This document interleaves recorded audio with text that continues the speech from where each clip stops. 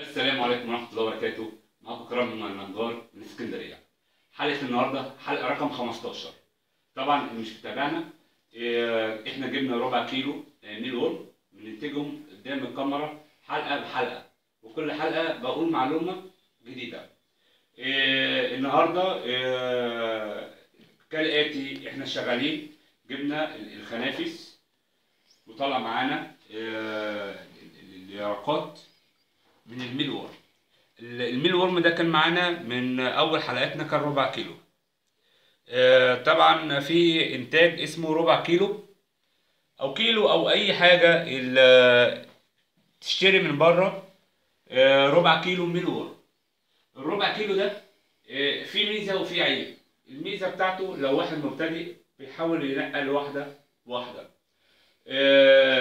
لو واحد عايز ياخد إنتاج كويس أنا هقول لكم على طرق البيع.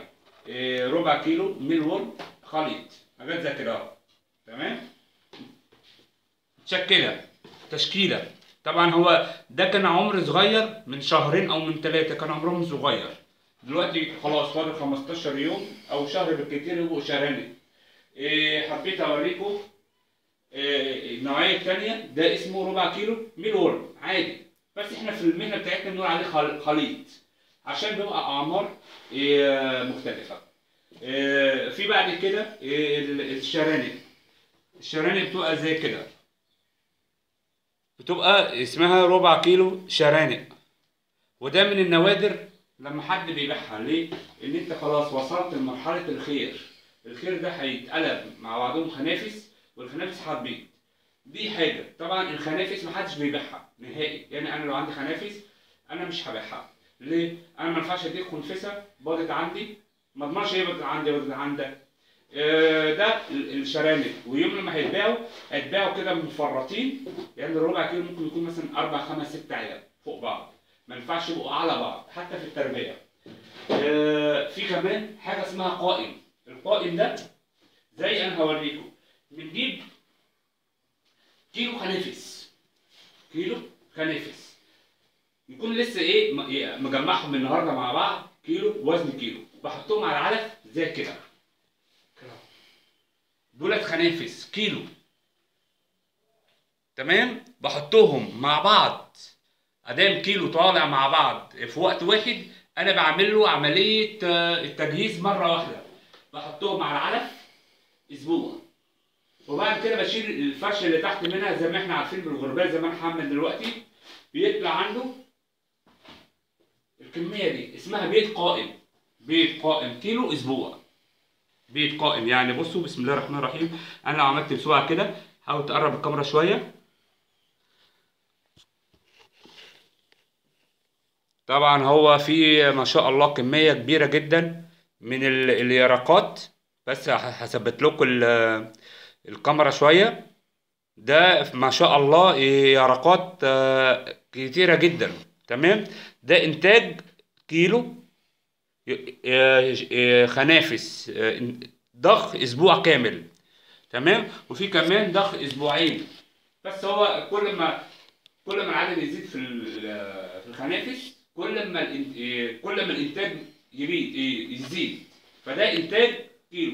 فأنت هتشتري قائم طبعا القائم ده محدش بيبيع على مستوى الجمهورية.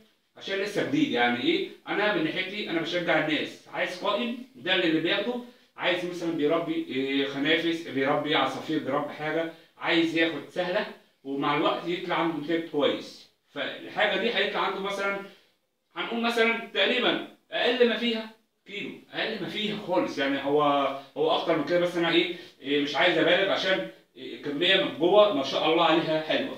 فإحنا هيبقى عندنا ال- القائم وال والشرانق والرب والميل ورم. الميل ورم العادي اللي هو أصلا أساسا هو الشغال العادي. بس أنا إيه حبيت إيه أوريكم إيه ممكن إحنا نبيع إزاي يعني. آه كمان البيت القائم ده لو واحد مثلا إيه, إيه, إيه بيسافر آه رايح العريش رايح حتة بعيدة إيه درجة الحرارة هناك عالية جدا. فالشرانق هتبوظ معاه الميل ورم هيبوظ معاه. إنما البيت مش هيبوظ معاه أو الفأس. فهنرجع برضك لمرجوعنا. إحنا طبعا شغال كنا شغالين على التوالي 15 حلقة وكل حلقة بنحطهم في علبة. فإحنا هنعمل نفس النظام بس هنغير الفكرة شوية. يعني إحنا هنوسع كده بس إيه؟ هنجيب المصفى بتاعتنا ديت أو ديت أي واحدة تعجبكم. بس برضك في كل حلقه معلش هنقول ال- ال- ال- الفتحات دي طوالي تمام؟ والحركة ديت حركة الغربله شايفين ال- الهب اللي طالع ده؟ احتمال يكون في بيت كمان.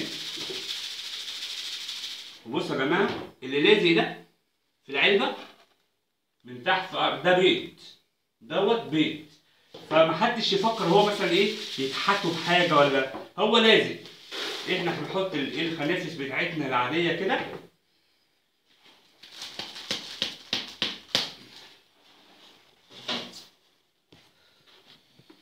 تمام؟ دي الخنافس الإجمالي. وبعد كده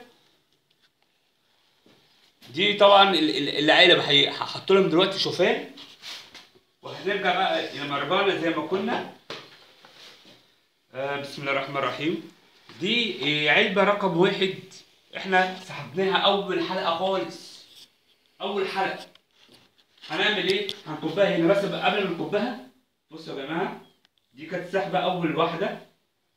فالخنافس ال- البيض فقس وطلع ميل ورم والميل ورم وبقى شرانق اهي بقى شرنقتين يعني الدورة بقت دورة جوه دورة. طبعا إحنا هنعمل دي كده. أول علبة. وتاني علبة. وتالت علبة.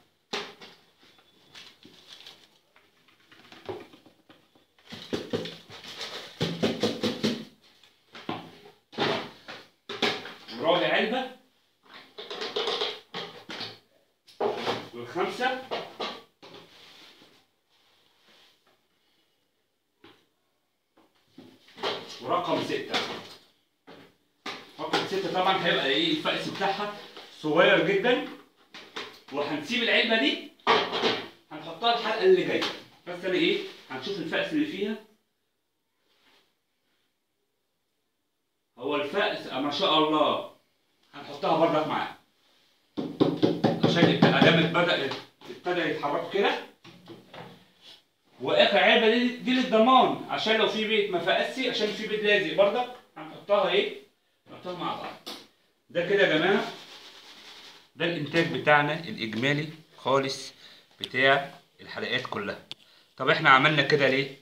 إحنا عملنا كده علشان طبعا خلاص هن هن هنفوقهم مع بعض وهنبتدي نركز معاهم في مصدر المية اللي إحنا قلنا عليه مصدر المية يا جماعة اللي هو البطاطا. البطاطا دي أنا المفروض أجيب ال- المبشرة وأعمل كالآتي.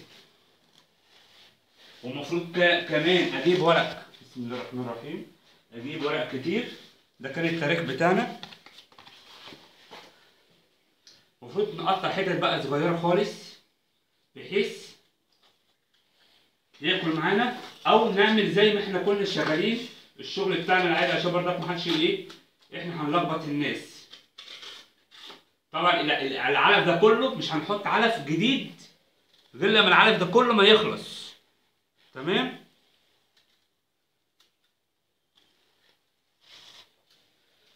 هنقعد نقطع كده إيه؟ طبعا إيه، في الشتاء مصدر الميه بيتخف على قد ما نقدر. مصدر ال- المية في الشيء في الصيف يعني على قد ما هنقدر آه، نزود. فإحنا هنقطع في كل واحدة زي ما إحنا قلنا كده لغاية كمان لغاية ما الشراني دي توصل لمرحلة الخنافس. الخادرة والخادرة هترجع للخنافس.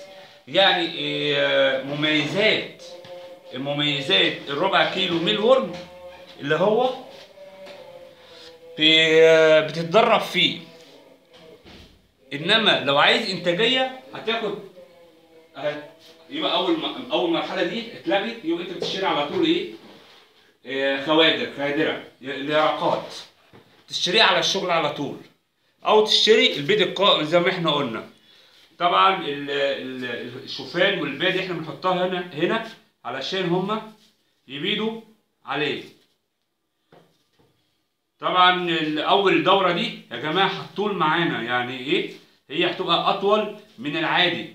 ليه؟ إن إحنا معانا الكيلو الخليط. ال- ال- الحاجة زي كده الدورة بتاعتها هتبقى كويسة. ليه؟ ان أنت ما عندك آه، آه، بيض أسبوع.